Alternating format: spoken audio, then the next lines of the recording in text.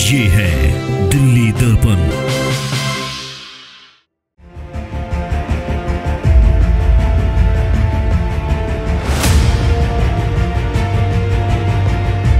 बोलिए, ऐसा कर अपनी माँ को ना लेन पे लेके जाके गाड़ी के आगे धक्का दे दे और चोटी पकड़ के इसको धक्का दे दे, तेरी माँ मर जाएगी, तू मेरे को रख लिए।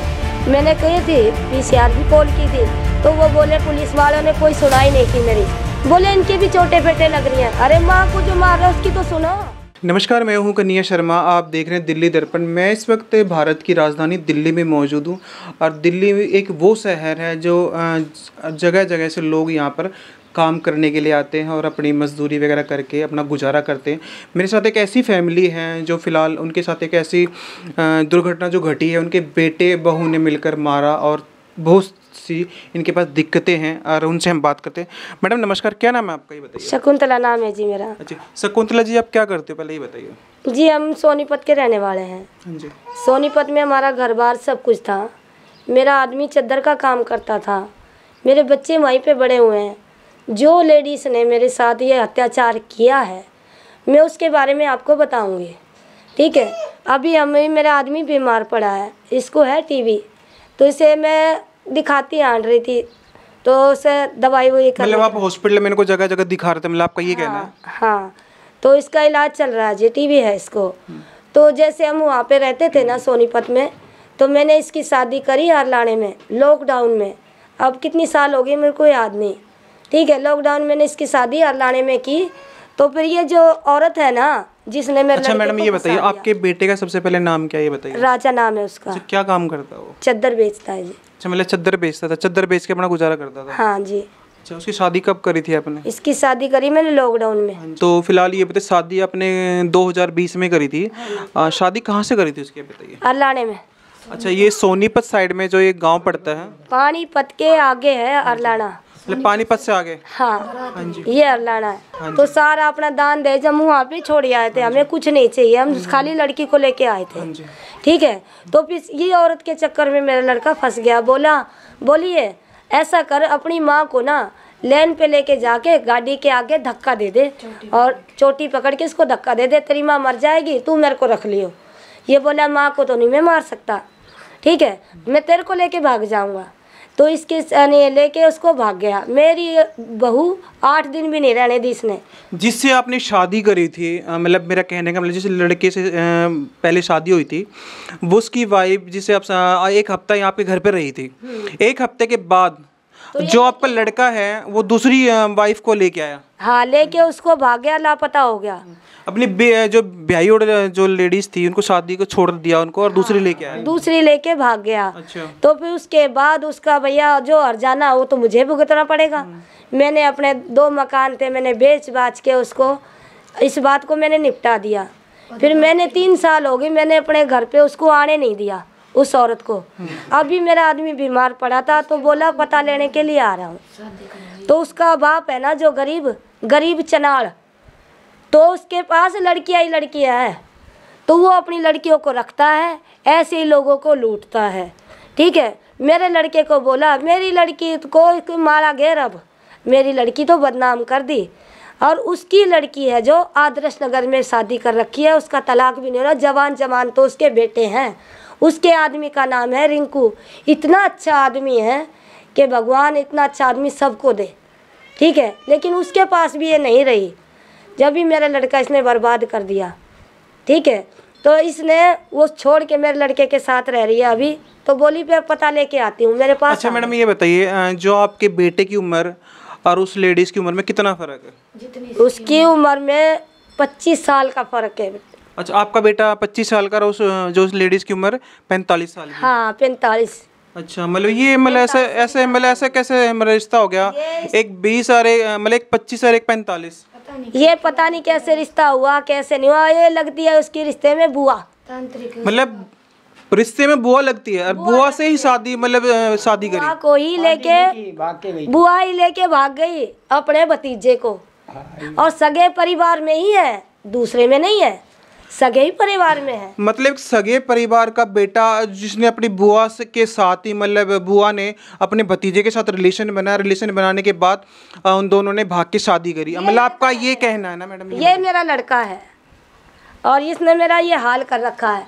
तो जैसे ये मेरे सबूत हाथ लग गया मेमोरी है मेरे पास उसकी तो मेरे सबूत हाथ लग गया। एक को छोड़ती है दूसरे को पकड़ती है। ये लोग बोले इसने आवाज़ सुन ली। मेरे पास मेमोरी जो है तो उसने मोनू पंडित उसका नाम है। तो उसके साथ ये बातें कर रही है बहुत गंदी गंदी। तो मैंने इसकी आवाज़ सुन ली मैंने इसकी मेमोरी अपने पास रख ली। तो रात के दस ग्यारह बजे मंगलवार वाले दिन ठीक है मेरे पास से मेमोरी मांगने लगे। मैं बोली मैं मेमोरी नहीं दूँगी। मतलब मेमोरी के दौरान ही आप लोगों की लड़ाई हुई। हाँ हाँ मेरे पास सबूत है इसका। मतलब आपके पास जो महिलाएँ थी उनकी कुछ सब, सबूत आपके पास थे। सबूत है, लेने की वजह से आप लोगों के साथ उन्होंने हाथापाई करी। हाँ ये हाथापाई करने के दौरान आपको चोट लगी। हाँ ये बच्चलन औरत है।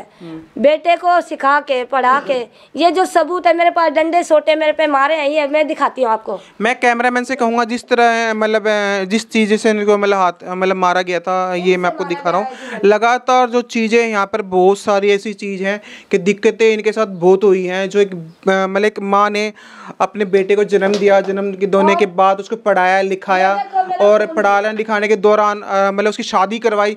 शादी करने के बाद एक ऐसी मतलब महिला से उनका रिलेशन ऐसा बना जो रिश्ते में उसकी बुआ लगती थी। बुआ के साथ, बुआ भतीजे ने शादी करी। और शादी के दौरान, शादी के दौरान उसको मतलब घर यहाँ पे दिल्ली में ला उनको रखा। रखने के बाद उसने, लड़के ने और उस लेडी, महिला ने मिलकर अपनी ही माँ को मतलब मारा जिस तरह इनकी हालत हुई है, मैं लगातार आपको तस्वीरें दिखा रहा हूँ। ये उनकी तमाम जो फैमिली यहाँ पे मौजूद है फ़िलहाल मैं इनसे बात करता हूँ। सर ये बताइए मैडम ये बताइए आपको कितनी चोट लगी थी? मेरे सर में सात टाके आ रहे हैं जी। हाँ जी। और मैंने यहाँ पे एक लटी खींच रखी है। मैं आपको बाल भी दिखाती हूँ अपने। अच्छा ये बताइए पीसीआर कॉल हुई थी इस पे?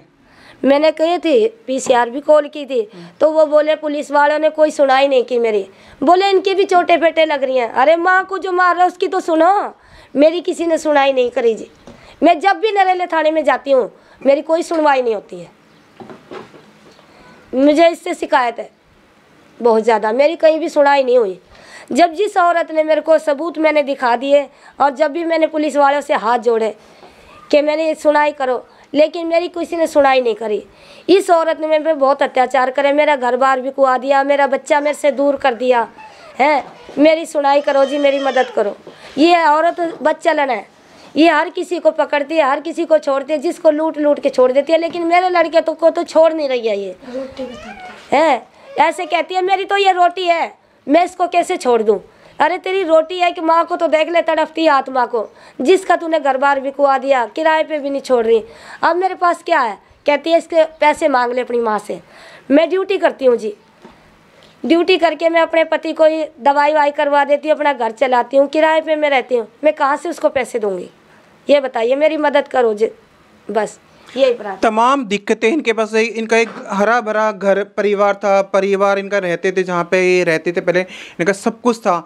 एक ऐसी चीज़ जो घटने के साथ घटी, घटना के, घटने के बाद इन्होंने तमाम जो अपनी प्रॉपर्टी बेचने के बाद इनका जो मतलब सोट आउट वो ख़त्म हुआ फिर इन्हें ख़त्म होने के बाद ये दिल्ली में आके रहने लगे। और दिल्ली में इनके पास परेशानियाँ बहुत सारी हो रही है। और फ़िलहाल इनके फादर से हम बात करते हैं। सर ये बताइए नाम क्या आपका? ये बताइए पहले। विजेंद्र है। विजेंद्र जी आप क्या करते हो? चद्दर का काम करते अच्छा लमला आप भी चद्दर के काम करते हो? अच्छा सर ये बताइए अभी फ़िलहाल जो सिचुएशन जो आपके घर की अ, जो हालात है फ़िलहाल अभी मारपीट का जो केस लग जो जिस महिला के बारे में हम बता रहे हैं वो महिला आपके रिश्ते में क्या लगती थी? बहन लगती है जी वो अच्छा बहन लगने के मतलब बहन लगती थी और फ़िलहाल आपके बेटे के साथ उसने रिलेशनशिप बनाया उसके बारे में आप क्या कहोगे अभी बताइए। उसके चक्कर में पड़ गया उसने फंसा लिया। उसके चक्कर में पड़ गया जी वो उसने फंसा लिया। अब हमारी कहाँ मानने का वो? माँ के ऊपर हाथ खड़ा कर दिया मैं छुटवाने के लिए गए इनको। मेरे पे भी हाथापाई कर दी उसने जी। दिक्कतें हैं बहुत सारी एक एक फैमिली के साथ हैं जिस तरह की इन्होंने घटना जो घटी करी है। और मेरे साथ कुछ और हैं इनके जो रिश्तेदार हैं उनसे हम बात करते हैं फ़िलहाल इधर के। सर आपका ये बताइए नाम क्या है आपका? ये बताइए मुझे पहले। सर जी मेरा नाम अरुण है। अच्छा अरुण जी आप मतलब इस घर में क्या रिश्ता है आपका? ये बताइए। ये जी देखो मैं तो इनका जमाई हूँ। अच्छा। और ये मेरे सास ससुर जय जी। अच्छा जिस दिन जिस दिन ये लड़ाई जो हुई थी आप इस टाइम वहाँ पे मौजूद थे? हाँ मौजूद था जी सर। फिर आपने मतलब क्या मतलब मूवमेंट दिखाया आपने? कि, किस की लड़ाई किस बात पे लड़ाई थी बताइए मुझे पहले। ये चिप थे इनकी मेमोरी कार्ड था। ये जो इनकी बहू थी ना वो कई और बात करते थे। हाँ तो बस चलन थे इनकी आपस में बोल चाल होती रहती थी वो मांगते करते रहते थे। ये हम